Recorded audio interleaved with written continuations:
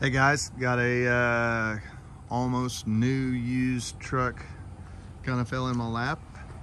Tell you a little bit about it, see if it might work for you. Um, 2022 Peterbilt 389. Uh, this is a truck that we built and you know pre-COVID just stuck on our lot for sale. Sold it and it's it's found its way back home, so let's do it again.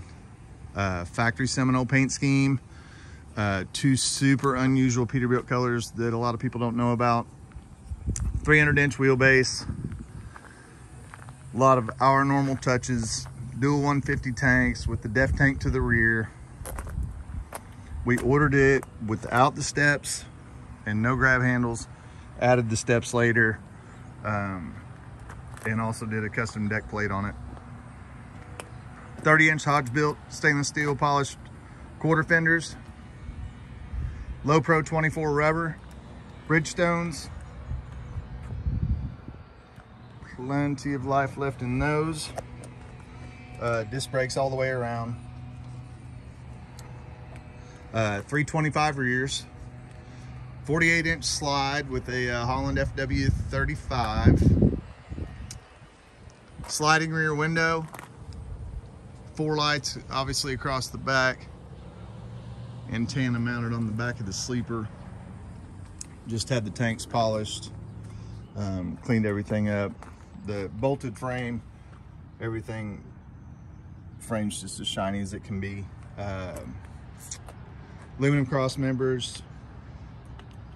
Uh, it's got the zinc coating on the frame under the paint, so the paint should last in rougher environments kind of a good shot of those colors heavy metallic on the gold and and the red. It's got the uh, premium sound. So it's got the subwoofer amplifier. I'll peek at that here in just a second. Uh, underglow lights on all the drop panels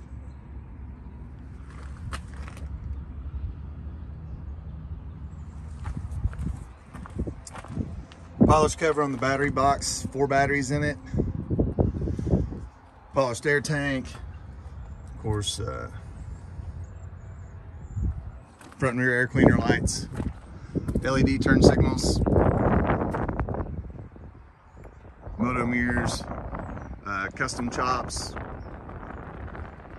Matched up to that custom visor with the lights in it, with the lights in the visor. No lights on the roof.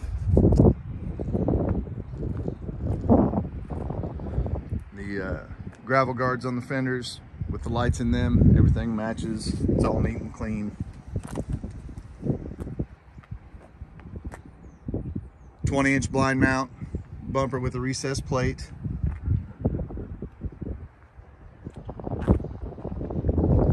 Peterbilt oval wheels.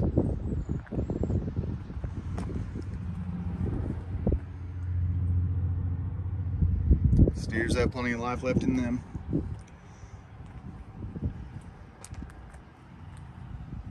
Uh, locking caps, dual fuel sending units.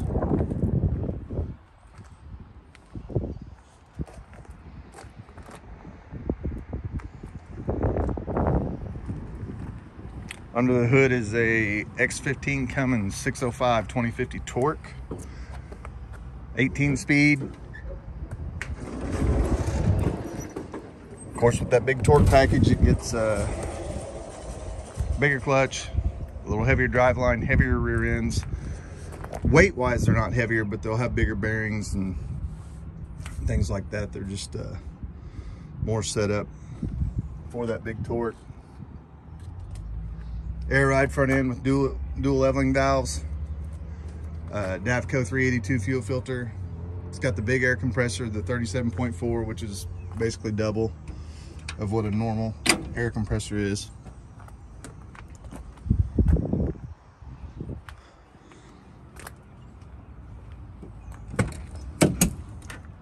Platinum interior,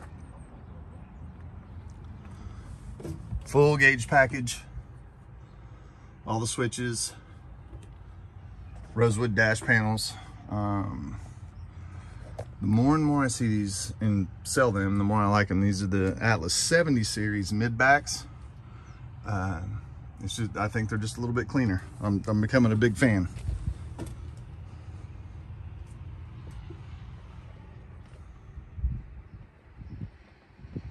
Get a mattress put in it. It just came back from detail. We always put new ones in them. Uh, set it for a PTO if you needed it.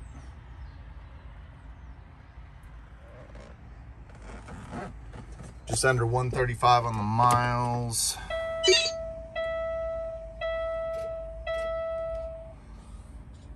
Just over 3,000 hours.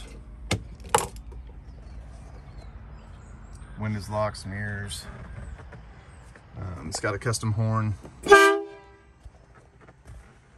Factory CB. Full carpet.